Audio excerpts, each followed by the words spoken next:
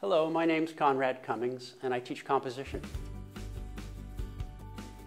Composers in my courses, whatever their level of experience, work to expand their range of expression and to deepen their personal voice.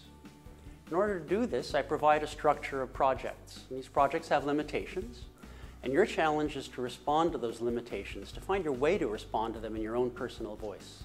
You will do this in a safe and supportive environment of fellow composers, and everything you write, you get to hear the day you finish it, read by our amazing Juilliard instrumentalists and singers.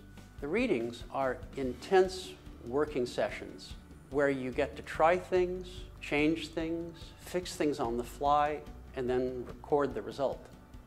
They're very challenging and very exciting.